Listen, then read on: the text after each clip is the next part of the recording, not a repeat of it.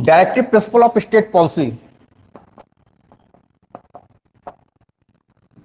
हमने आपको पिछली क्लास में बताया था कि जो है जब देश आज़ादी की लड़ाई चल रही थी तो भारतीय राष्ट्रीय नेताओं द्वारा जो है इस बात की मांग की जा रही थी कि हमें अधिकार चाहिए।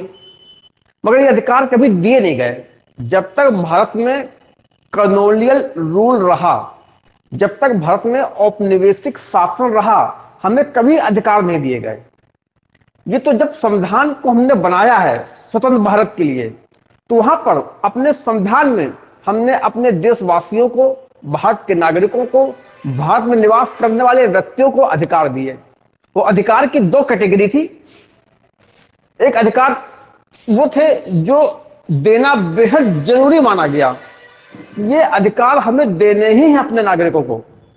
इनके बगैर जो है जीवन का संचालन नहीं किया जा सकता। तो वो अधिकार जो व्यक्तित्व के विकास के लिए बेहद ज़रूरी माने गए, जो जीवन के लिए बेहद ज़रूरी माने गए, उन अधिकारों को नाम दिया गया फंडामेंटल राइट्स और इनको संविधान के भाग तीन में रखा गया। और इनको जो है,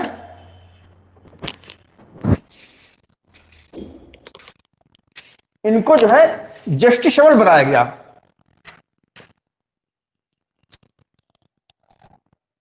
ठीक?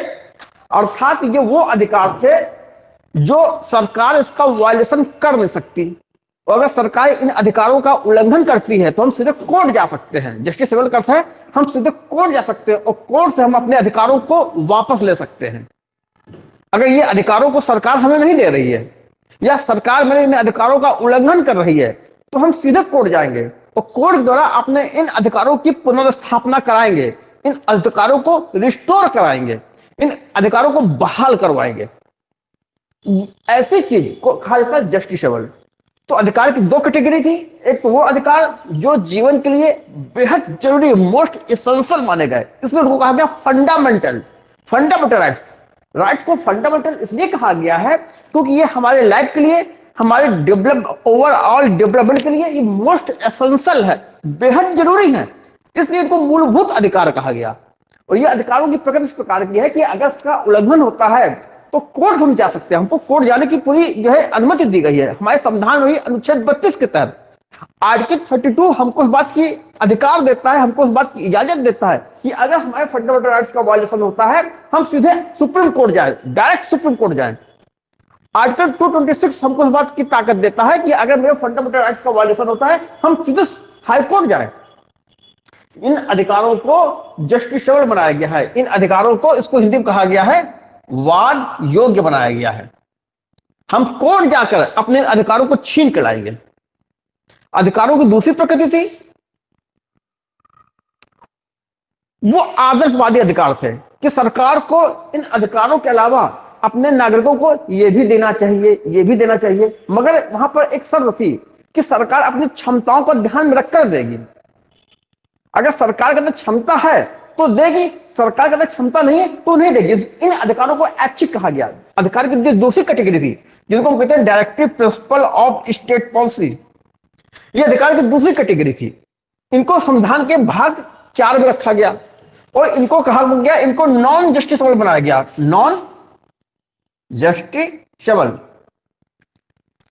अगर ये अधिकार सरकार हमें नहीं देती है, अगर ये अधिकार सरकार हमको नहीं देती है तो हम कोर्ट में जा सकते फंडामेंटल राइट्स में तो हमको कोर्ट में जाने की इजाज़त दी गई। लेकिन directive principle of state policy राज्य के नीति निषेध सिद्धांतों में हमको उस बात की इजाज़त नहीं दी गई कि अगर ये अधिकार सरकार हमें नहीं देती है तो हम कोर्ट जाए। क्योंकि ये अधिकार सरकार की इच्छा भी छोड़े गए। नवजात स्वतंत्रता मिली है, भारत अभी नया नया स्वतंत्र हुआ है, भारत के पास अभी इतनी आर्थिक संसाधन नहीं है, भारत के पास अभी इतना विकास नहीं हुआ है, उसके पास खजाने में इतना पैसा नहीं है कि इन अधिकारों को वो हर एक को दे सके। तो ये सरकार को छोड़ दिया गया कि जैसे जैसे आपका डेवलपमेंट होता जाएगा, जैसे जैसे आप विकसित होते जाओगे, आपकी क्षमता बढ़ती जाएगी, आपके पास संसाधन आते जाएँगे, आपके खजाने में पैसा आता जाएगा, उस अनुसार भी आप जो है उचित जो जो समझिएगा धीरे धीरे करके दीजिएगा। तो इन अधिकारों को, यहाँ पर इन अधिकारों को अनिवार्य बनाया गया on the part of government सरकार को ये अधिकार हमें देने ही होंगे। वही इन अधिकारों को जो है ऑप्शनल या ऑप्शनल बनाया गया है on the part of government सरकार को जो तय करना है कि हम इनमें से कौन सा अधिकार अभी दें, कौन सा अधिकार बाद में दें। जैसे कि समान नागरिक संहिता समान नागरिक संहिता आप लोगों ने नाम खूब सुना होगा, खूब पेपर में आता है कि हर के लिए एक समान कानून होगा। अभी क्या है? हर एक लिए समान कानून नहीं है। एक मुसलमान जो है, चार विवाह कर सकता है, चार वाइफ रख सकता है एट टाइम एक हिंदू एट टाइम एक साथ दो वाइफ नहीं रख सकता। पहले एक वाइफ को तलाक दे, या एक वाइफ उसकी मर जाए, वो बिना वाइफ का हो जाए, तब दूसरी शादी करेगा। अगर उसने दूसरी शादी कर ली, एक वाइफ के होते हुए, और तलाक नहीं हुआ है तो उस पर कार्रवाई की जा सकती है।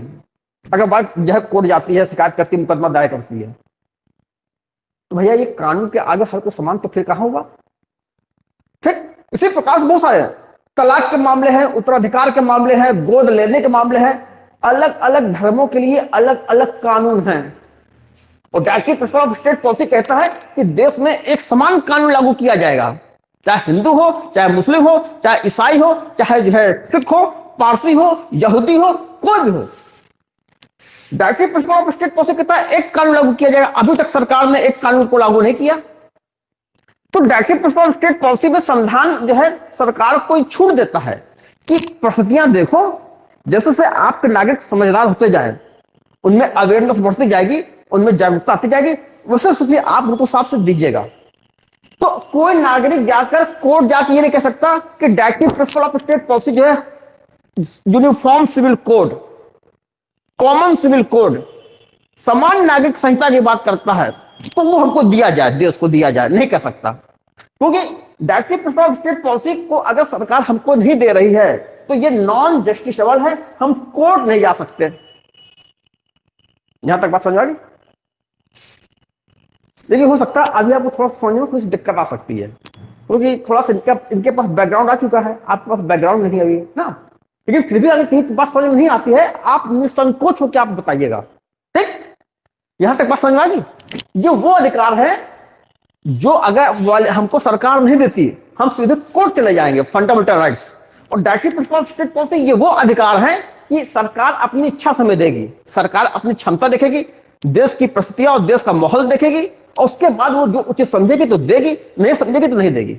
और हम इसके लिए कोर्ट नहीं जा सकते। तो दूसरे प्रकार का अधिकार इसे डायरेक्टिव प्रिंसिपल स्टेट पॉलिसी। इसी के बारे में आज बताना है। ठीक है? तो यहाँ देखिए जो आपके अनुच्छेद हैं directive principle of state policy तक के अनुच्छेद खूब पूछे जाते हैं। इसके बाद फिर जो अनुच्छेद हैं खूब पूछे कम जाते हैं वहाँ पर कंसेप्ट ज़्यादा पूछी जाती है। और, और यहाँ तक directive principle of state policy तक आपके कॉन्सेप्ट तो पूछी जाएगी। आपसे अनुच्छेद आर्टिकल्स भी खूब पूछे जाते हैं। तो नोट लिखना शुरू कीजिए। Directive principle of state policy को संविधान के भाग चार में रखा गया है। Directive principle of state policy are enumerated directive principles of किस किसमें? आपको हिंदी में लिखा है कि इंग्लिश में लिखा है? आप किसमें? सहज महसूस करेंगे। दोनों सहज है। ठीक, हम दोनों बोलेंगे, फिर आप जैसा समझेगा कर लीजिए, ठीक? Directive principles of state policy are enumerated DPSP DPSPs are enumerated in part 4 of Indian Constitution. Directive principle of state policy संविधान के भाग चार में वर्णित है। Directive principle of state policy are enumerated enumerated नहीं समझ पा रहे हैं। लेकिन दिखाएँ।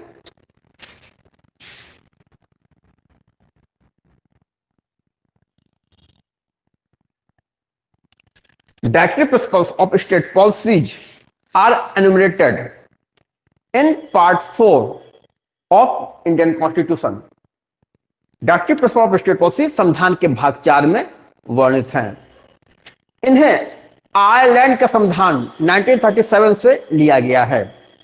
ये एग्ज़ाम में खूब पूछा जाता है। देखिए, ये जितने पॉइंट सब पूछे जा रहे हैं कि डीपीएसपी संविधान के किस भाग में है, ये पूछा जाता है तो संविधान के भाग चार में है। ये कहाँ से लिए गए हैं? तो ये जो है आयरलैंड 1937 के संविधान से लिए गए हैं। आयरलैंड का जो उन्नीस सौ सैंतीस का संविधान था, वहाँ से लिया गया है। Directive principle of state policy these are borrowed these are borrowed from irish constitution these are borrowed from irish constitution common 1937 ये आयरलैंड के संविधान, कॉमा 1937 के द्वारा लिए गए हैं।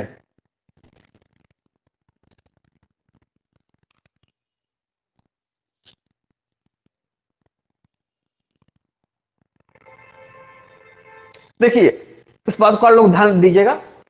मिटा देना उसको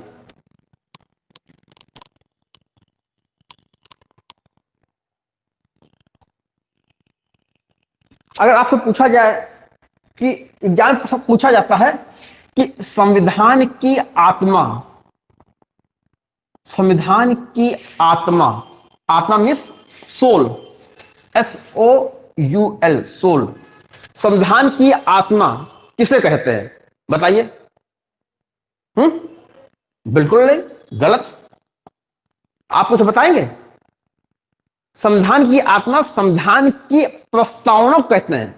Preamble of the constitution is also called as soul of the constitution संविधान की आत्मा, संविधान की प्रस्तावना है, उसका प्रेम्बल है, जिसको उद्देशिका भी कहते हैं, जिसको आमुख भी कहते हैं।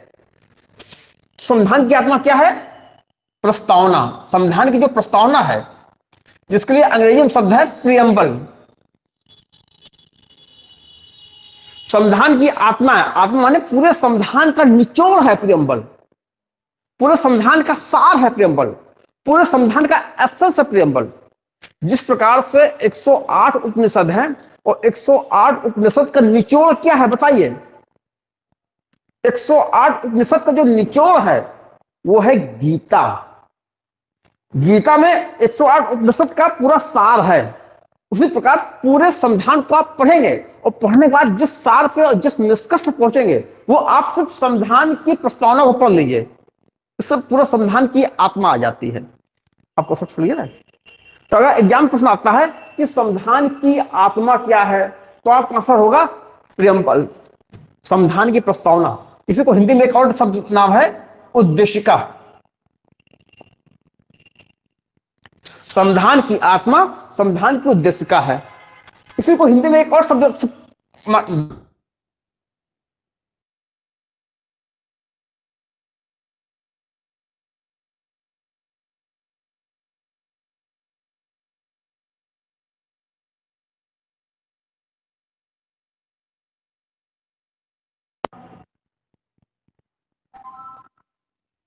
डॉक्टर अंबेडकर के अनुसार आत्मा क्या है? डॉक्टर अंबेडकर ने किसको संविधान की आत्मा कहा? तो डॉक्टर अंबेडकर ने किसको संविधान की आत्मा कहा? आप बताइए। नहीं पता। डॉक्टर अंबेडकर ने हमारे आर्टिकल 32 को, आर्टिकल 32 को संविधान की आत्मा कहा है। डॉक्टर अंबेडकर ने कहा है कि अनुच्छेद 32 जिसके अंतर्गत कहा गया है राइट टू कॉन्स्टिट्यूशनल रेमेडीज संवैधानिक उपचारों का अधिकार है। संवैधानिक उपचार।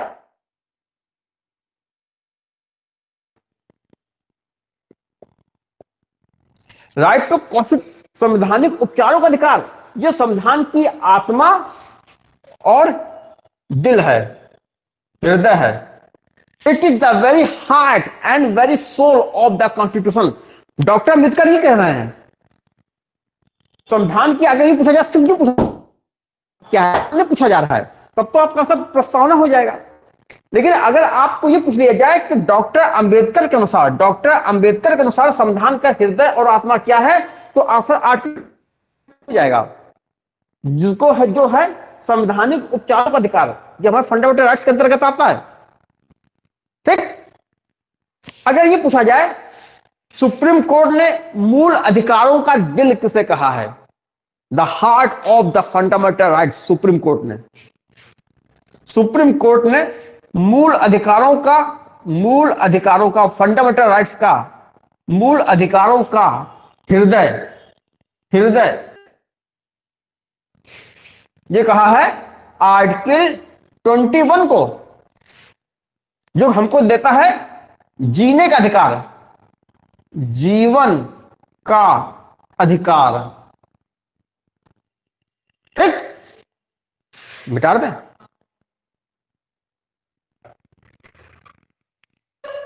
अब हम ये, हमने सारी बातें ये ये रिकैप क्यों की? इसकी ज़रूरत क्यों थी? क्योंकि हम इसी से संबंधित कोई बात बताने जा रहे हैं डायरेक्टिव प्रिंसिपल के संदर्भ में। इसलिए हमने एक बार सारी चीज़ों को डिकैप किया है। इनको एक जगह बॉक्स बना के लिखिए और याद रखिए, ये प्रश्न एग्ज़ाम में खूब पूछे जाते हैं। खास तौर से संविधान की आत्मा क्या है और डॉक्टर अंबेडकर के अनुसार संविधान की आत्मा किसे कहा जाता है? अब हम जो आगे आपको बताने जा रहे हैं, उस पर ध्यान दीजिए। जो हमारा फंडामेंटल राइट्स था फंडामेंटल राइट जो है किसको अधिकार देता है? व्यक्तियों को, नागरिकों को अधिकार देता है। ये जो है, संबंधित है। इट इज़ एसोसिएटेड विद ये व्यक्तियों की बात करता है। ये व्यक्तियों की, ये व्यक्ति की बात कर रहा है।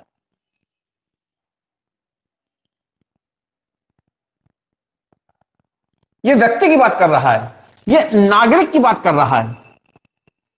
जो फंडामेंटल राइट्स दिए गए, किसको दिए गए हैं? व्यक्ति को दिया गया है, नागरिक को दिया गया है। ये इंडिविजुअल की बात कर रहा है। शॉर्ट फॉर्म कहें तो ये इंडिविजुअलिस्टिक है। जो नेचर फंडामेंटल राइट्स है, वो इंडिविजुअलिस्टिक है। फंडामेंटल राइट जो है, जो अधिकार दे रहा है वो व्यक्ति को देता है, नागरिक को देता है। वही डीपीएसपी डीपीएसपी जो अधिकार दे रहा है, ये किसी एक व्यक्ति को नहीं दे रहा है। ये समूह को दे रहा है, समुदाय को दे रहा है, समाज को दे रहा है। दोनों अंतर है। एक तरफ़ व्यक्ति है, एक तरफ़ समाज है। के भी अधिकार होते हैं और समाज के भी अधिकार होते हैं। और कई बार जब व्यक्ति के अधिकार और समाज के अधिकार में टकराहट होती है कॉन्फ्लिक्शन होता है तो हमेशा व्यक्ति के अधिकारों को को नीचे रखा जाता है और पूरे समाज के अधिकार को ऊपर रखा जाता है। मेरा अधिकार बनाम इस पूरी सोसाइटी का अधिकार तो मेरे अधिकार को नीचे रखा जाएगा, लेकिन सोसाइटी के अधिकार को ऊपर रखा जाएगा। ऐसा होता कि नहीं होता है? अकेले एक व्यक्ति के अधिकार के लिए पूरी सोसाइटी के अधिकार को कमज़ोर नहीं किया जा सकता। ठीक? तो फंडामेंटल राइट्स जो मोस्ट इसेंशियल है और जिसके उल्लंघन पर नागरिक या व्यक्ति सीधे कोर्ट तक चला जाएगा, सुप्रीम कोर्ट तक जाएगा तो अपने अधिकार को लेकर मानेगा। वही डीपीएसपी ये अधिकार किसी व्यक्ति को नहीं दे रहे हैं। डीपीएसपी जो है, अधिकार समाज को दे रहे हैं, समुदाय को दे रहे हैं, समूह को दे रहे हैं। यहाँ क्वेश्चन समझ आ रहा है डीपीएसपी किससे संबंधित है?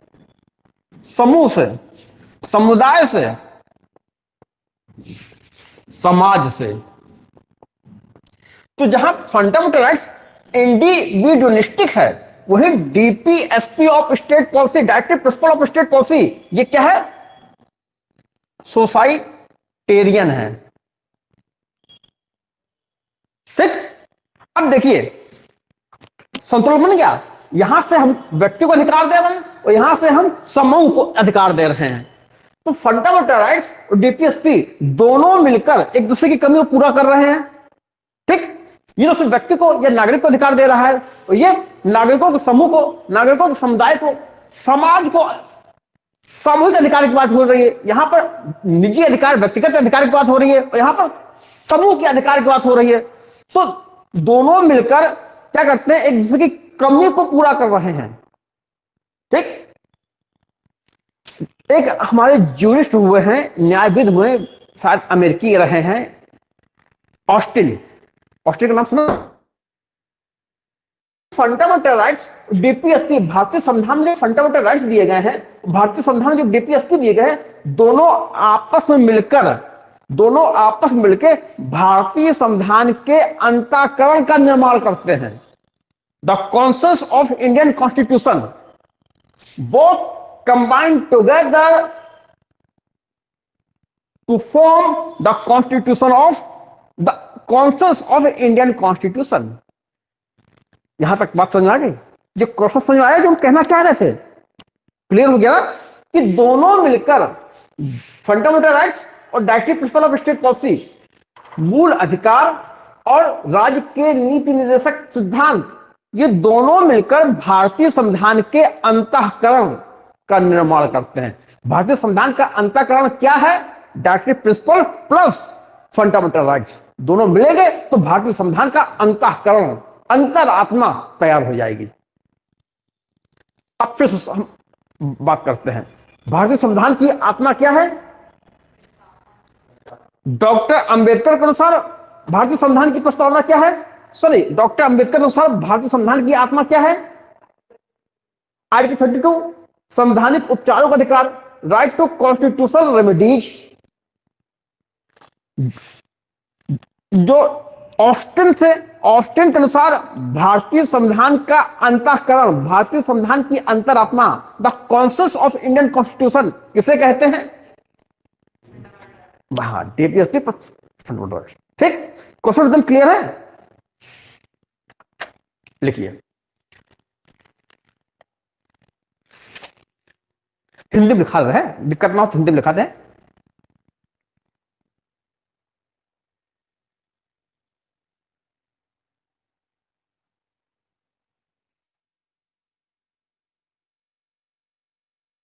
दें मूल अधिकार का स्वरूप।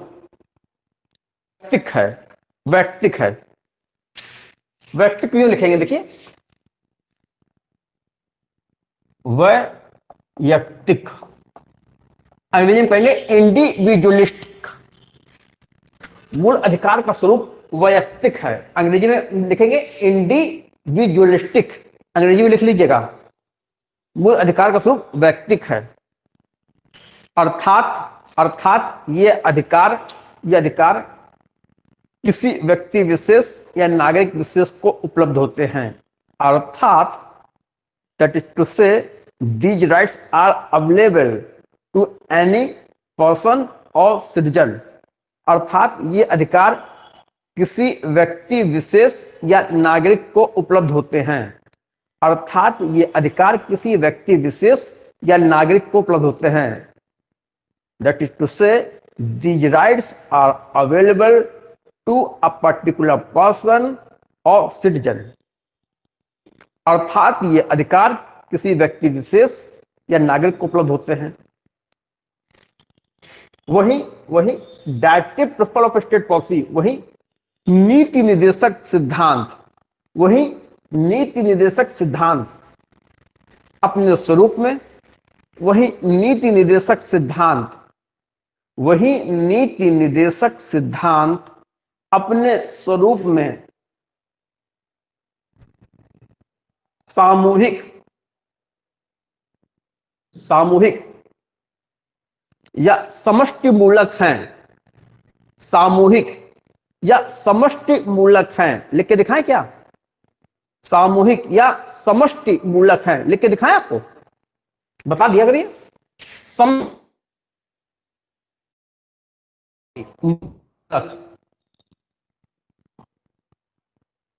ठीक? अंग्रेज़ी में कहेंगे कलेक्टिव कलेक्टिव या सोसाइटेरियन सोसाइटेरियन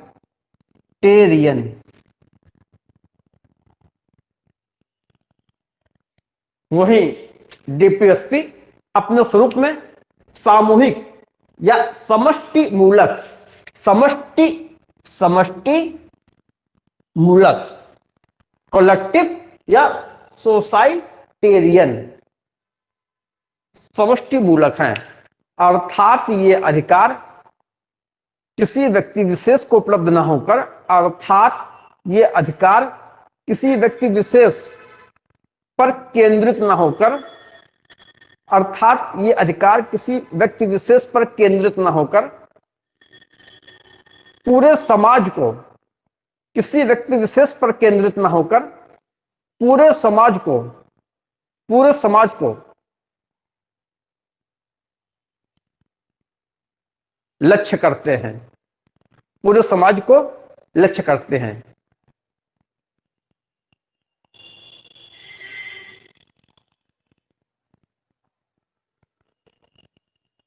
यही कारण है कि आस्टिन महोदय ने यही कारण है, यही कारण है कि आस्टिन महोदय ने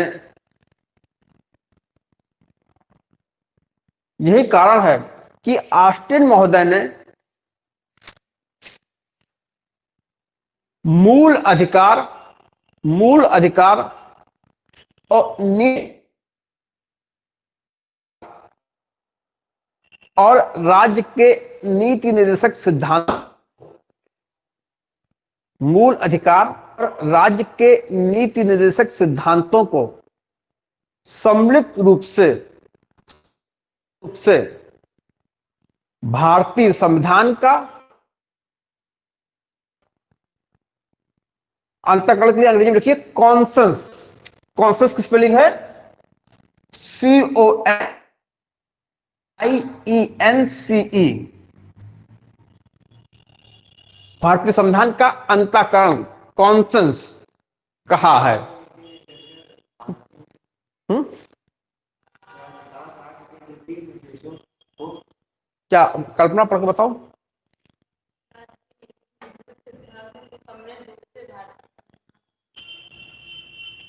दोनों को मिलाकर, सम्मिलित रूप से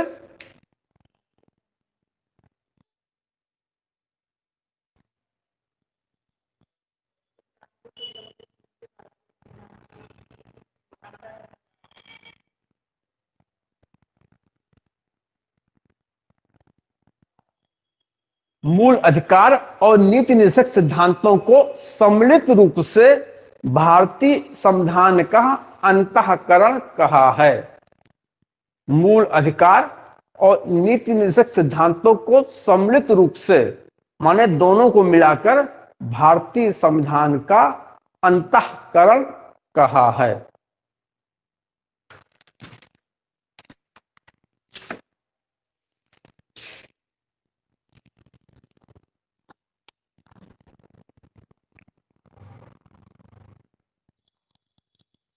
देखिए रिवीजन पर बेहद ध्यान दीजिए। रिवीजन नहीं होगा तो दिक्कत आएगी।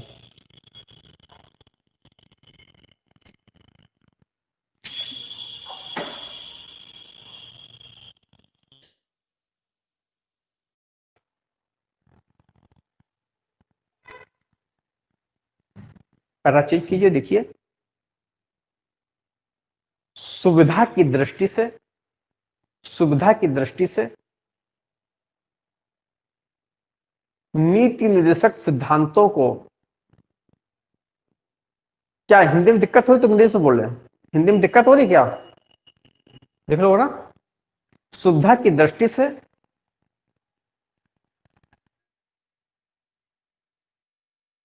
सुविधा की दृष्टि से हाँ? हिंदी बोल सुविधा की दृष्टि से नीति निर्देशक सिद्धांतों को तीन श्रेणियों में बांटा जा सकता है। नीति निर्देशक सिद्धांतों को तीन श्रेणियों में बांटा जा सकता है।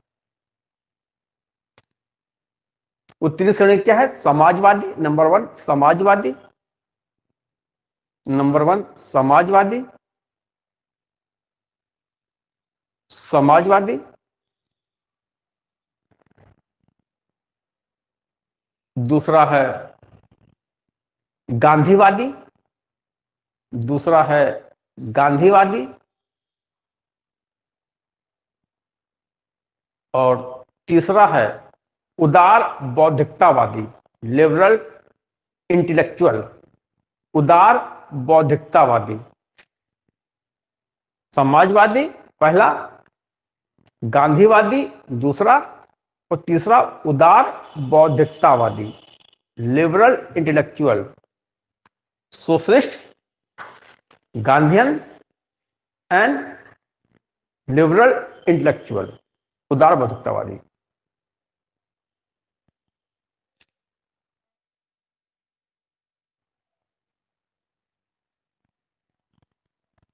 अब देखिए।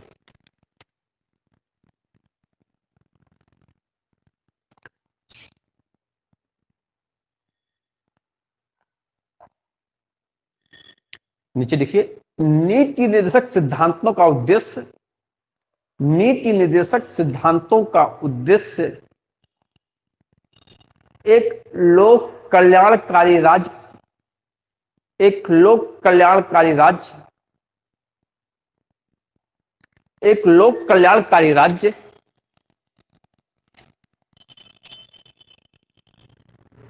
और समाजवादी और समाजवादी राज्य।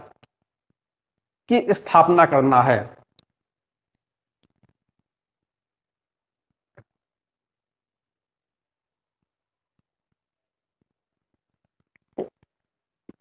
और समाजवादी राज्य की स्थापना करना है।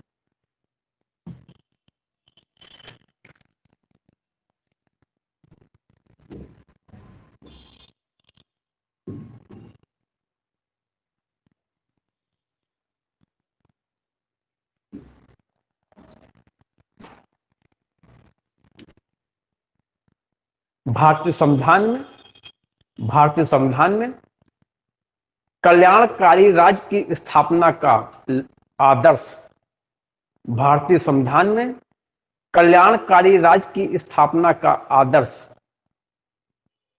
कल्याणकारी राज्य की स्थापना का आदर्श संविधान की प्रस्तावना, संविधान की प्रस्तावना संविधान की प्रस्तावना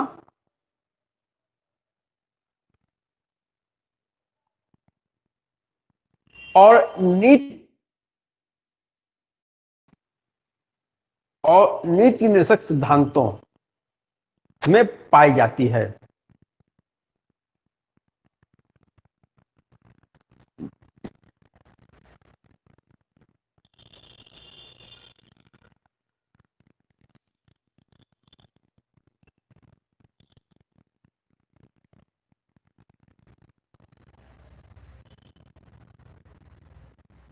देखिए, यदि आपसे प्रश्न पूछा जाता है एग्ज़ाम में कि भारत के संविधान में कहाँ पर कल्याणकारी राज्य की अवधारणा पाई जाती है? भारतीय संविधान में कहाँ पर एक कल्याणकारी राज्य का आदर्श देखा जा सकता है? तो आपका आंसर क्या होगा? Directive principle of state policy राज्य के नीति निर्देशक सिद्धांत। आपका आंसर यही होगा। अगर आप प्रस्तावना दिया है तो भी आपका आंसर यही होगा। लेकिन अगर आंसर कूट में आया है कि प्रस्तावना भी है और ये भी है वो आंसर है ए बी और सी है ए और बी दोनों। तो आपका आंसर सी हो जाएगा। लेकिन अगर आपको दो नहीं चुनने हैं, सिर्फ़ एक ही चुनना है, वहाँ पर प्रस्तावना भी है, वहाँ पर डायरेक्टेड पॉलिसी भी है राज्य के नीति निषक तत्व भी हैं। और आपको एक ही चुनना है तो आप प्रस्तावना को नहीं चुनोगे। आप डायरेक्टिव प्रिंसिपल को चुनोगे। ठीक?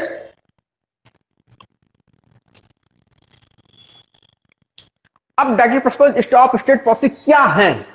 अब उनकी बात की जाती है, जो आर्टिकल वाइज बात की जाएगी। ठीक है?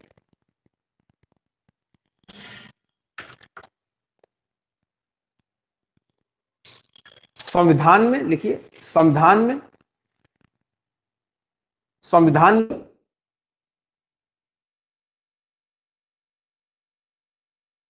संविधान में नीति निर्देशक तत्व, अनुच्छेद अनुच्छेद छत्तीस से इक्यावन, अनुच्छेद छत्तीस से इक्यावन के बीच दिए गए हैं। छत्तीस इक्यावन में दिए गए हैं। आर्टिकल 36 टू 51 ये जो आर्टिकल 36 टू 51 है, इन्होंने इनमें नीति निर्देशक तत्वों के बारे में बताया गया है। आप समझते जाएँगे और हर आर्टिकल लिखते जाएँगे। पहले आराम समझ लीजिएगा, फिर लिखाएँगे। देखिए, जो आर्टिकल 36 है ये क्या है? इसका कुछ महत्व नहीं है। यहाँ पूछा नहीं जाता। आर्टिकल थर्टी सिक्स बताता है कि राज्य क्या होगा। राज्य की राज्य के बारे में समझा रहा है कि राज्य में क्या क्या शामिल है। क्योंकि ये जो नीति निषेक सिद्धांत हैं, ये किसको एड्रेस किए गए हैं? ये सरकार को, राज्य को एड्रेस किए गए कि राज्य जो है, आप जो है, अपने नागरिकों को ये ये सामान दीजिए। आप अपने नागरिकों को ये ये सुविधाएँ दीजिए। आप अपने नागरिकों के साथ इस प्रकार का व्यवहार कीजिए। ये किसको एड्रेस करते हैं, किसको संबोधित कर रहे हैं, राज्य को कर रहे हैं? तो सबसे पहले ये तो स्पष्ट हो कि राज्य है क्या? तो आर्टिकल 36 राज्य क्या है? राज्य में क्या क्या तत्व शामिल है, उसको बताता है। तो आर्टिकल 36 की बताता है कि नीति नक सिद्धांतों के संदर्भ में भी राज्य का वही अर्थ होगा, जो फंडामेंटल राइट्स के संदर्भ में क्यों है। फंडामेंटल राइट्स के संदर्भ में राज्य क्या है? क्योंकि फंडामेंटल राइट्स क्या है? जो हमको फंडामेंटल राइट्स दिए गए हैं, ये हमको राज्य के विरुद्ध दिए गए हैं। कि राज्य अपने नागरिकों के साथ ये अपने नागरिकों के साथ ये नहीं करेगा। राज्य व्यक्तियों के साथ ऐसा नहीं करेगा। जो फंडामेंटल राइट्स हैं, जो मूल अधिकार हैं, ये राज्य पर सीमाएँ आरोपित करते हैं। राज्य के मनमानेपन पर, राज्य के स्वेच्छाचारता पर ये अंकुश लगाते हैं। सीमाएँ आरोपित करते फंडामेंटल राइट्स कि राज्य भारत में राज्य क्षेत्र में निवास करने वाले किसी भी व्यक्ति के साथ कानून के सामने समानता और कानून के समान संरक्षण से वंचित नहीं करेगा। राज्य किसी के भी साथ जाति के आधार पर, धर्म के आधार पर, लिंग के आधार पर भेदभाव नहीं करेगा। राज्य छुआछूत का आचरण नहीं करेगा। राज्य किसी को उपाधियाँ नहीं देगा। राज्य सरकारी नौकरी में किसी भी व्यक्ति के साथ धर्म, जाति, लिंग, जन्म, स्थान, निवास स्थान के आधार पर अवसर की समानता से किसी नागरिक को वंचित नहीं करेगा। तो जो फंडामेंटल राइट्स हैं, ये राज्य पर अंकुश लगाते हैं। फंडामेंटल राइट जो है, हमको राज्य के विरुद्ध उपलब्ध है। तो फंडामेंटल राइट में बताया गया था, अनुच्छेद 12 में आर्टिकल 12 में बताया गया था कि जो है, राज्य क्या है। ठीक? अब नीति निषेक सिद्धांत, ये भी राज्य को एड्रेस कर रहे हैं। केटी शाह के अनुसार, नीति निर्देशक एक ऐसा चेक है। नीति निर्देशक एक ऐसा चेक है, जिससे राज्य अपनी सुविधा अनुसार जिससे हाँ जिससे बैंक जिससे बैंक अपनी सुविधा अनुसार अदा करेगा।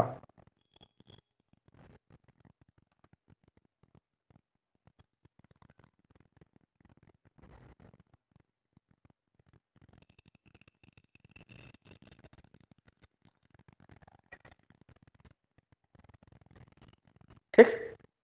यहाँ तक बात एकदम क्लियर है। अब देखिए, आप प्रवर्तनी हैं आवाद योग हैं बैंक अपनी सुविधा से अदा करेगा इस चेक को, जब उसके पास पैसा होगा।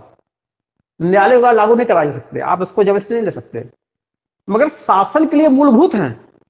तो जो नीति निषेक सिद्धांत हैं, ये सरकार के लिए एक तरीके से कॉन्स्टिट्यूशनल रिकमेंडेशन है। सरकार के लिए संवैधानिक संस्तुतियाँ हैं। राज्य को संवैधानिक रूप से कुछ ऐसे रिकमेंडेशन कुछ ऐसी सिफारिशें की गई हैं, जिन्हें राज्य को मानना चाहिए अच्छे शासन के लिए। देश के शासन के लिए ये सिद्धांत मूलभूत है और कानून बनाते समय इन सिद्धांतों को सरकार लागू करे। ठीक, यहाँ पर ये बात सामने, समझ आती है कि नीति निषेक सिद्धांतों का जो प्रकृति है, वो संवैधानिक सिफारिशों के रूप में है। ये राज्य के लिए संवैधानिक सिफारसें हैं, परंतु ये न्याय, परंतु ये विधायिका या कार्यपालिका पर कोई प्रतिबंध कोई निर्बंधन नहीं लगाते। जैसे कि जो है, आपके मूलभूत अधिकार लगाते थे, मौलिक अधिकार जो है, राज्य पर प्रतिबंध लगाते थे। कई जगह राज्य पर रिस्ट्रिक्शन लगाए हैं। राज्य ऐसा नहीं करेगा, राज्य ऐसा नहीं करेगा। यहाँ पर ऐसा कोई रिस्ट्रिक्शन नहीं लगाया गया है। तो उसकी प्रकृति क्या है? क्योंकि ये न्यायालय के द्वारा लागू नहीं सकते, क्योंकि ये अप्रवर्तनीय है, अर्थात इनका स्वभाव सलाहकारी रूप का है। कि आपने मुझे सलाह दी है, सलाह मुझ पर बाध्यकारी नहीं है। मैं चाहूँगा तो मानूँगा, मैं चाहूँगा तो नहीं मानूँगा। तो नीति सिद्धांत की जो प्रकृति है, इसका जो नेचर है, इसका जो करेक्टर है, इसका जो स्वरूप है, वो संवैधानिक सिफारिशों की तरह है। कॉन्स्टिट्यूशनल रिकमेंडेशन है, जिसको मानना ना मानना सरकार के ऊपर है। बात समझ आ रही? जिसे कहता है सामान्य नागरिक संहिता। ये तो रहे लागू करो। ये क्या है? एक कॉन्स्टिट्यूशनल रिकमेंडेशन है। सरकार अगर उचित समझेगी तो कॉमन सिविल कोड लागू करेगी यूनिफॉर्म सिविल कोड लागू करेगी, समान नागरिक संहिता को लागू करेगी।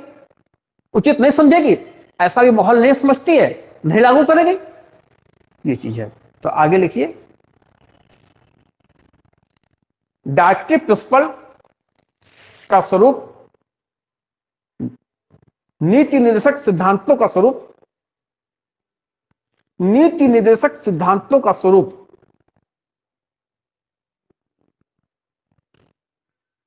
संविधान सिफारसों की भांति है। का स्वरूप संवैधानिक सिफारसों की भांति है। कॉन्स्टिट्यूशनल रिकमेंडेशन है ये।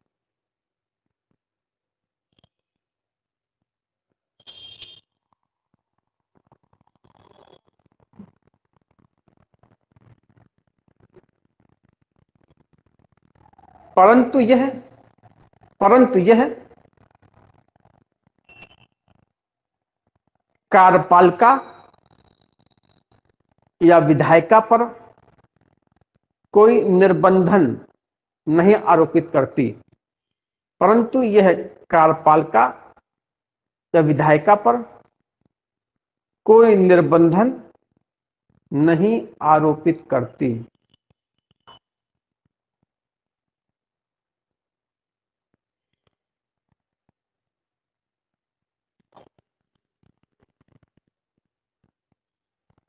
देखिए, अभी तक जितनी बातें हमने आपको बताई हैं, ये सब आपसे निर्बंधन, माने रिस्ट्रिक्शंस ब्रैकेट लिखिए रिस्ट्रिक्शंस कोई निर्बंधन नहीं आरोपित करती। अभी तक मैंने आपको जितनी बातें बताई हैं, ये सारी बातें आपसे एग्ज़ाम पूछी गई हैं। देखिए पूछा गया है। Directory principle of state policy जो है। वाद योग्य है कि अवाद योग्य है। ये अवाद योग्य है, क्योंकि ये अप्रवर्तनीय है। ये पूछा गया है कि देश के शासन के लिए मूलभूत है और कानून बनाते समय इन सिद्धांतों को लागू किया जाना चाहिए। ये किस अनुच्छेद में दिया गया है? अनुच्छेद सैंतीस में दिया गया है। ठीक? ये पूछा गया है कि किसने कहा था कि निर्देशक सिद्धांत एक ऐसा चेक है जिसे राज्य अपनी सुविधा के अनुसार अदा करेगा? ये कथन केटी शाह का है। ये पूछा गया है कि जो है directive principle of state policy जो है, कार्यपालिका पर निर्बंधन लगाता है। ये स्टेटमेंट ट्रू है कि फॉल्स है? फॉल्स है, क्योंकि तो निर्बंधन नहीं लगाता। फिर दूसरा directory principle of state policy विधायिका पर निर्बंधन लगाता है। ये स्टेटमेंट ट्रू है कि फॉल्स है? फॉल्स है, क्योंकि तो निर्बंधन नहीं लगाता। माने statement first and statement second दोनों फॉल्स है, दोनों इनकरेक्ट हैं। कोई करेक्ट नहीं है, ठीक? बोथ आर इनकरेक्ट तो जितनी बातें भी हमने आपको लिखाई हैं ये सारी चीज़ें एग्ज़ाम में पूछी गई हैं। और ये सारे प्रश्न कहाँ से आए हैं? आर्टिकल थर्टी सेवन से निकले हैं। आर्टिकल थर्टी सेवन में बस तीन बातें कही गई हैं कि ये अप्रवर्तनीय है शासन के लिए मूलभूत है और कानून बनाते समय इनको लागू किया जाए।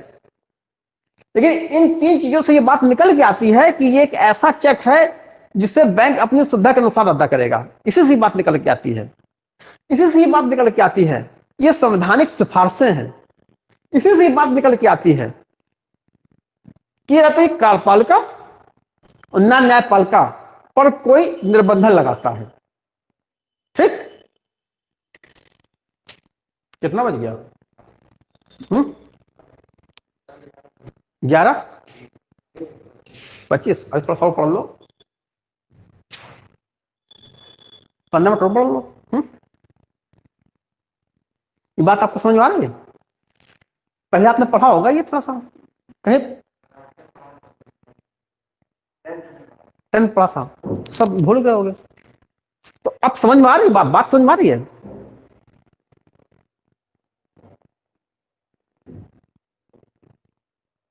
अब देखिए आर्टिकल थर्टी सेवन के बाद आता है article thirty eight article thirty eight इसमें दो क्लॉज है। एक तो है क्लॉज वन और एक है क्लॉज टू क्लॉज वन क्या कहता है? क्लॉज वन पहले समझ लीजिए क्लॉज वन क्या कहता है? क्लॉज वन ये कहता है कि हम एक ऐसी सामाजिक व्यवस्था की स्थापना करेंगे। एक ऐसा सोशल ऑर्डर एक ऐसी सामाजिक व्यवस्था बनाएँगे जो सामाजिक, आर्थिक, राजनीतिक न्याय पर आधारित हो। जिसके द्वारा जो लोगों के कल्याण को बढ़ावा दे। यहाँ ये कहा गया है कि हमको एक कैसे सामाजिक व्यवस्था चाहिए, ऐसी सामाजिक व्यवस्था चाहिए, एक ऐसी सामाजिक व्यवस्था चाहिए, पहले समझिए। एक ऐसी सामाजिक व्यवस्था चाहिए जो समाज जो न्याय पर आधारित होगी। हमको न्याय पर आधारित सामाजिक व्यवस्था चाहिए। ये न्याय कैसा होगा? सामाजिक न्याय होगा। यह न्याय आर्थिक होगा यह न्याय राजनीतिक होगा। सामाजिक, आर्थिक, राजनीतिक न्याय पर आधारित सामाजिक व्यवस्था हमको चाहिए। इससे क्या होगा? इससे होगा लोगों का कल्याण। लोगों के कल्याण को बढ़ावा देने के लिए हम ऐसी सामाजिक व्यवस्था को सुनिश्चित करेंगे जो न्याय पर आधारित होगी, ये न्याय सामाजिक, आर्थिक, राजनीतिक होगा। आपकी प्रस्तावना भी तो कहती है सामाजिक, आर्थिक, राजनीतिक न्याय।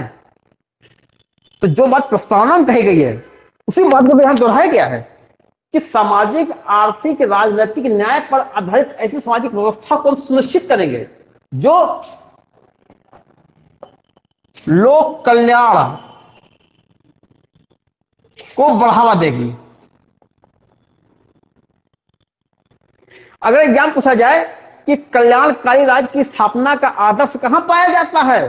तो नीति निषेक सिद्धांतों में, और नीति निषेक सिद्धांतों में खास तौर से कहाँ पाया जाता है? आर्टिकल? जला बस इतना पर्याप्त है। देखिए, फिर सुनिए। कल्याणकारी राज्य की स्थापना का आदर्श कहाँ पाया जाता है? Directive principle of state policy में पाया जाता है। नीति निषेक सिद्धांतों के चैप्टर में पाया जाता है, जो संविधान का भाग चार है। और निषेक सिद्धांतों में कहाँ पे पाया जाता है? Article thirty eight article thirty eight कहता है, एक ऐसी सामाजिक व्यवस्था को आप सुनिश्चित कीजिए जो न्याय पर आधारित होगी। ये न्याय कैसा होगा? सामाजिक, आर्थिक, राजनीतिक न्याय पर आधारित सामाजिक व्यवस्था का निर्माण करेंगे, जो जो है लोक कल्याण को अधिकाधिक बढ़ावा देगा। ठीक? तो article thirty eight clause one लिख लीजिए। उसके बाद फिर ये चार्ट बना लीजिएगा। होता क्या ना, जब ये चार्ट देखेंगे ना तो आपको चीज़ें आसानी से कैच हो जाएँगी, कैप्चर हो जाएगी। आपने चार्ट बना लिया ना? कल्पना तुमने बना लिया?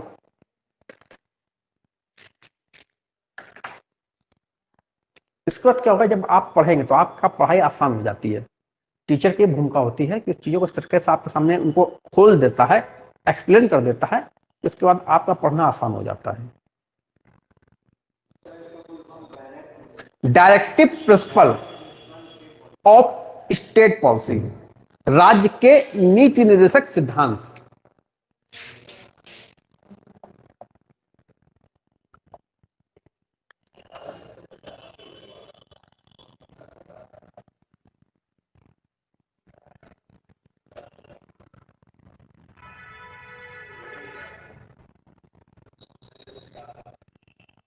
ये राज्य के नीति निषेक सिद्धांत।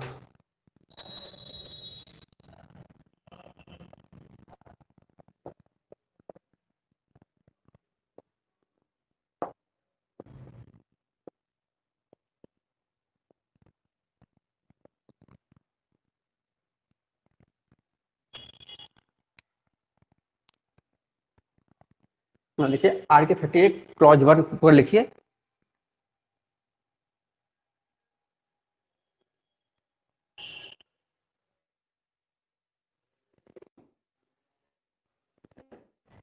लोक कल्याण को बढ़ावा देने के लिए,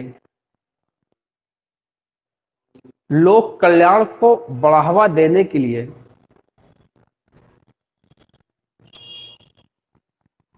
लोक कल्याण को बढ़ावा देने के लिए ऐसी सामाजिक व्यवस्था को सुनिश्चित किया जाए, ऐसी सामाजिक व्यवस्था को सुनिश्चित किया जाए, जो सामाजिक आर्थिक, राजनीतिक न्याय पर आधारित हो। जो सामाजिक, आर्थिक और राजनीतिक न्याय पर आधारित हो, बस।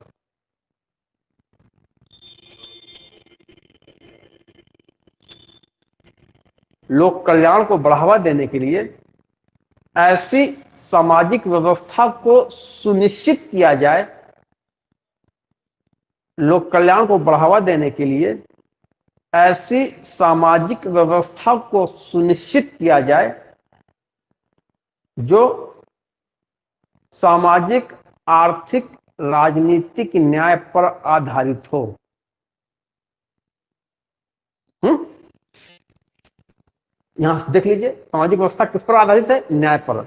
न्याय कैसा होगा? सामाजिक, आर्थिक, राजनीतिक। इससे क्या होगा? इससे लोक कल्याण को बढ़ावा मिलेगा। लोगों के कल्याण को welfare of people to promote welfare of people to secure a social order permeated by justice, social, economic and political.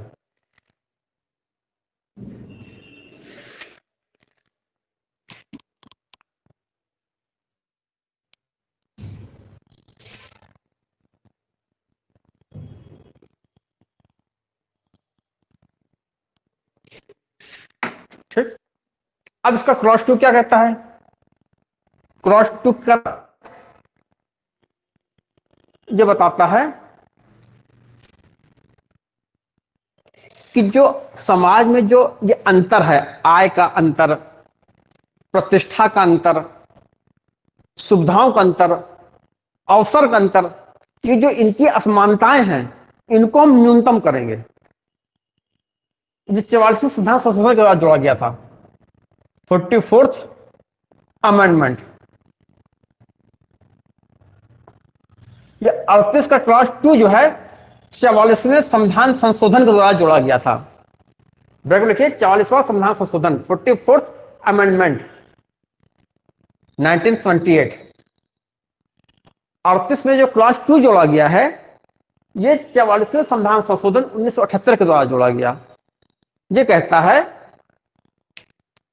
कि आय आय प्रतिष्ठा, लिखिए, आय आय प्रतिष्ठा, कौमा प्रतिष्ठा,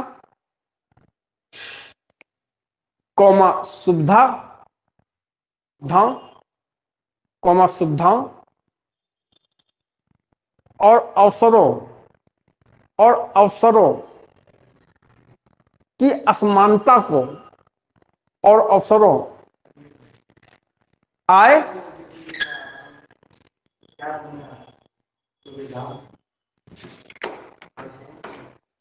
ये बताता है, ये बताता है कि जो असमानताएँ समाज में व्याप्त हैं, जो इनक्वलिटीज हैं, जो असमानताएँ हैं, ये असमानताएँ कहे की हैं? ये असमानता है आय की। ये असमानता है प्रतिष्ठा की। किसी पास बहुत ज़्यादा आय है, किसी पास बहुत कम आय है। किसी की कुछ लोगों की प्रतिष्ठा बहुत कम है। किसी के पास बहुत ज़्यादा सुविधाएँ हैं।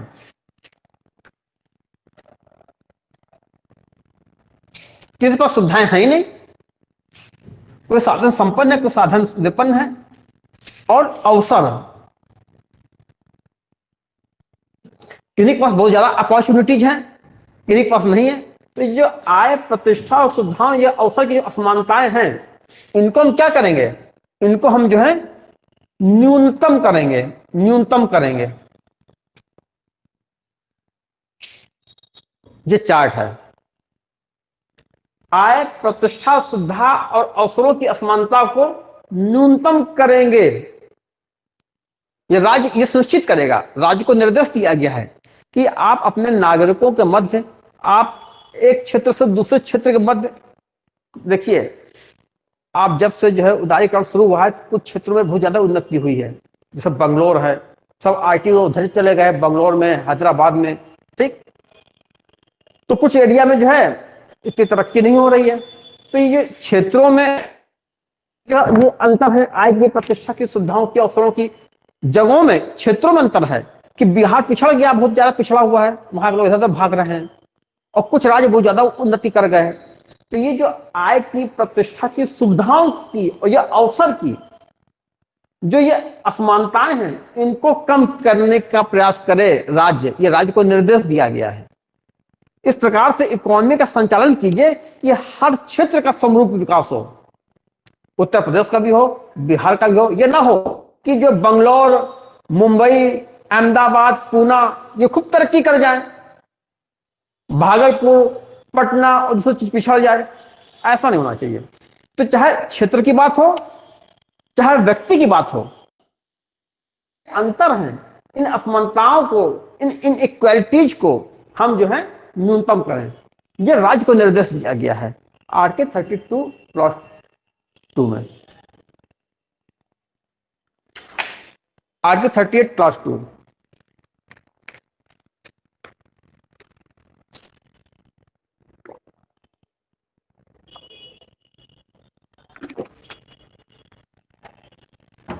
ये लिख लिया? वो वो लिख, वो लिखा दिया है? ये राज जो है, आय, प्रतिष्ठा, सुविधा और अवसरों की असमानताओं को कम करने का प्रयास करेगा। ये लिखा दिया है?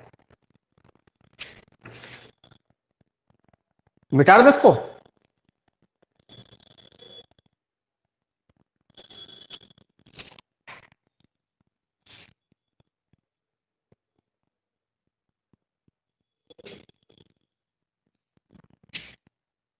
अब नोट करके लिखिए, ऐसे नोट करके। N O T E note देखिए। आर्टिकल थर्टी एट संबंध विशेष रूप से, विशेष रूप से कल्याणकारी राज्य की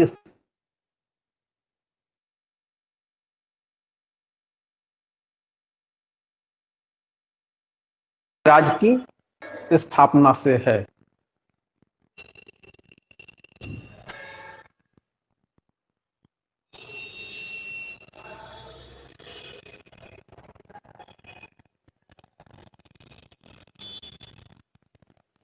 ठीक?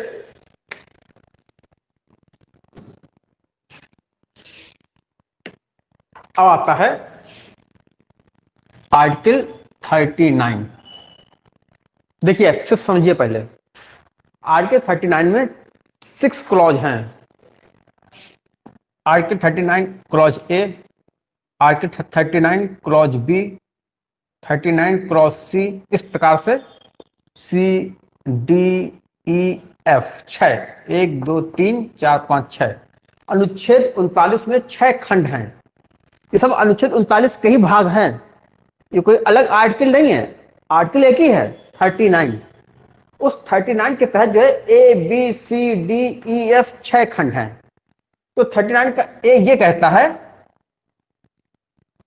कि सभी नागरिकों को आजीविका के पर्याप्त साधन उपलब्ध हों। राज्य सुनिश्चित करेगा। राज्य को यह निर्देश दिया गया है कि सभी नागरिकों को अधिकार है आजीविका के समुचित साधनों का। ठीक?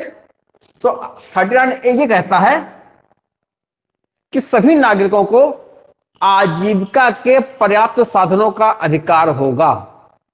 देखिए, आजीविका क्या होती है? आजीविका का अर्थ यह है कि इतने आपके पास रोज़गार इतनी आपके पास व्यवस्था हो काम की कि आपको रोटी, कपड़ा और मकान की जो आपकी मूलभूत जरूरतें हैं वो पूरी हो जाए।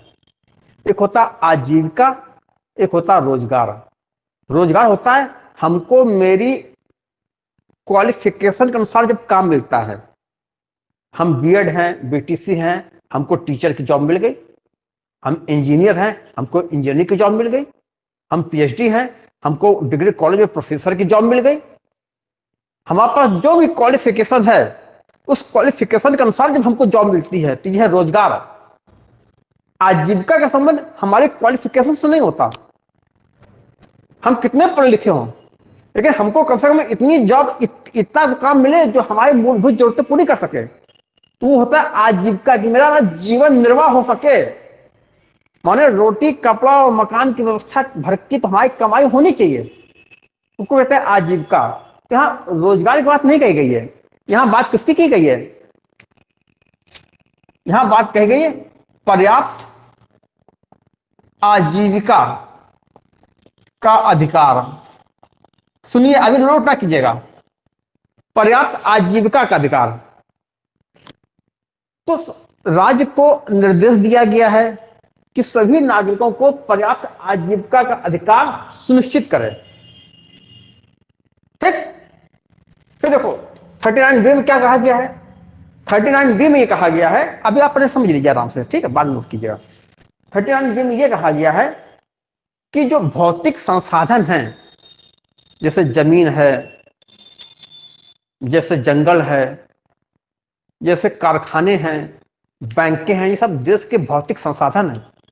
भौतिक संसाधनों का न्यायोचित वितरण हो जो ना हो कि, कि चंद लोगों के पास में जो है सारी ज़मीन आ गई। एक जमींदार है उस जमींदार के पास यहाँ से वहाँ तक जहाँ तक निगाह जा रही है सारी ज़मीन हमारी। और जिन पे काम करने वाले जो किसान हैं जो काश्तकार हैं ज़मीन उनकी नहीं है वो भूमिहीन है। जमींदार क्या कर रहा है? कोई काम नहीं करता। उसकी ज़मीन पर काश्तकार काम करता है। उनकी मेहनत पर वो उनसे जो है क्या वसूलता है? लगान। मेहनत कौन कर रहा है? काश्तकार। जमींदार क्या कर रहा है? कुछ भी नहीं कर रहा है। वो कोई नहीं कर रहा है। लेकिन इतनी बड़ी संपत्ति का मालिक वो है। तो जो भौतिक संपत्ति है, जो मटेरियल रिसोर्सेस है, जो भौतिक संसाधन है, उनका न्याचित वितरण होना चाहिए।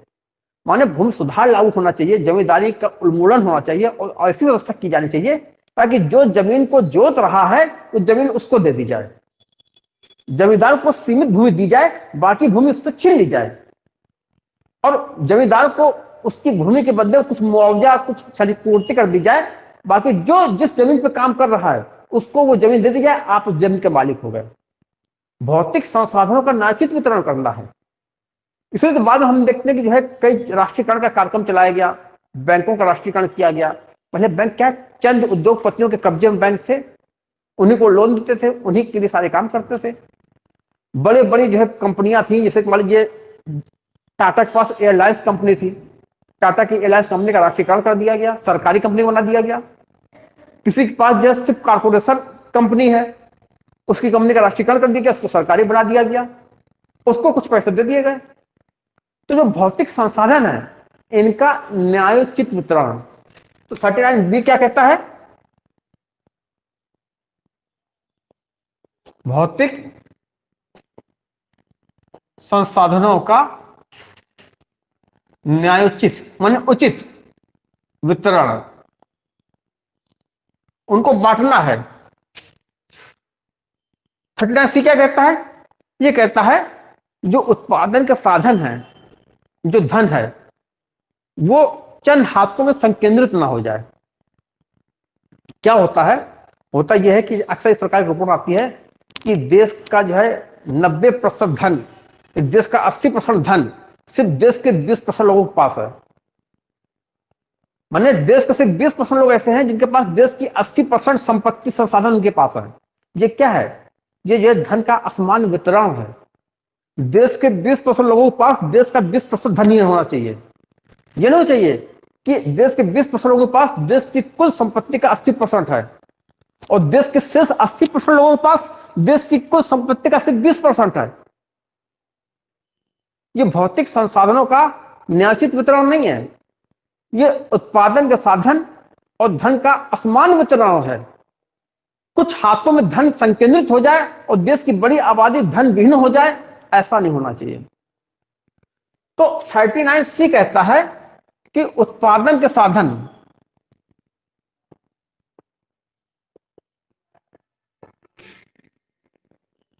और धन क्या संकेंद्रण, का संकेंद्रण, का निषेध, ऐसा नहीं होना चाहिए। बस आज यहीं तक बताएँगे, आगे नहीं बताएँगे। ठीक है? पहले समझ लीजिए, इतनी बात समझ में आई कि नहीं आई?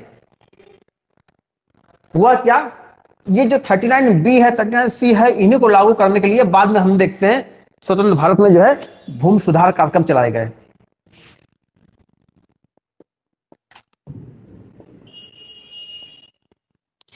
जमींदारी उन्मूलन अधिनियम आया। जमींदारी उन्मूलन अधिनियम आया। ठीक? और जो है, कई निजी कंपनियों का राष्ट्रीयकरण किया गया। जैसे बैंक निजी थे, उनका राष्ट्रीयकरण किया गया। कोई शिप कारपोरेशन कंपनी है, निजी हाथ में, किसी उद्योगपति के हाथ में है, उसका राष्ट्रीयकरण कर दिया गया, उसको सरकारी बना दिया गया। कोई एयरलाइंस है, जो निजी उद्योगपति के हाथ में है, उसका राष्ट्रीयकरण कर दिया गया। माने हर जगह सरकारी उद्यम, सरकारी संस्थान बनाए गए। जब किसी चीज़ का राष्ट्रीयकरण कर दिया जाता है तो फिर वो एक व्यक्ति विशेष का नहीं होता। फिर वो पूरे समाज का हो जाता है, पूरे देश का हो जाता है। वो संस्थान। ठीक? तो बहुत सारे कार्यक्रम चलाए गए। किसको? इन्हीं चीज़ों को लागू करने के लिए। लिख लीजिए अब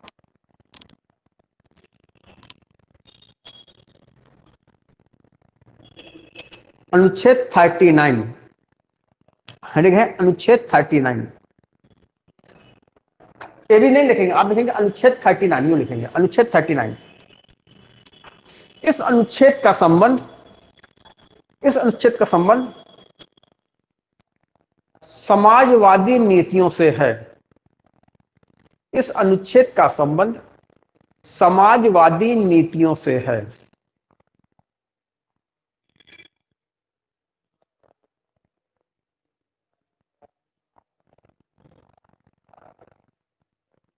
ठीक? जो निम्नलिखित है। अब एबीसीडी करके लिखेंगे।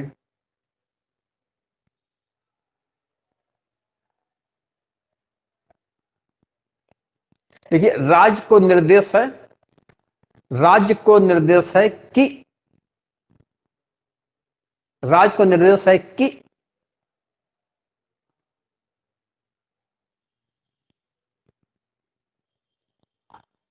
निर्देश है कि, अब देखिए, अब ए ए ए में क्या होगा, हम आपको दिखा रहा है ए सभी नागरिकों को, सभी नागरिकों को आजीविका के पर्याप्त साधनों का अधिकार। सभी नागरिकों को आजीविका के पर्याप्त साधनों का अधिकार। सभी नागरिकों को आजीविका के पर्याप्त साधनों का अधिकार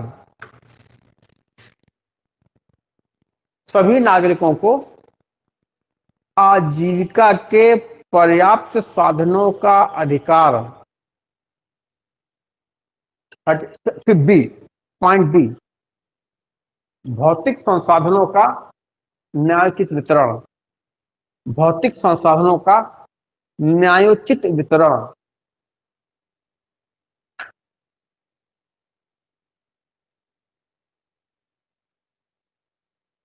ताकि सभी लोगों को लाभ हो।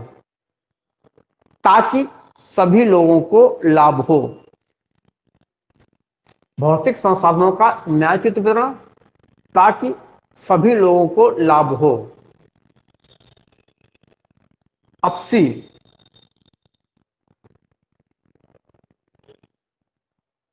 उत्पादन के साधन। उत्पादन के साधन और धन के संकेंद्रण का निषेध उत्पादन के साधन और धन के संकेंद्रण का निषेध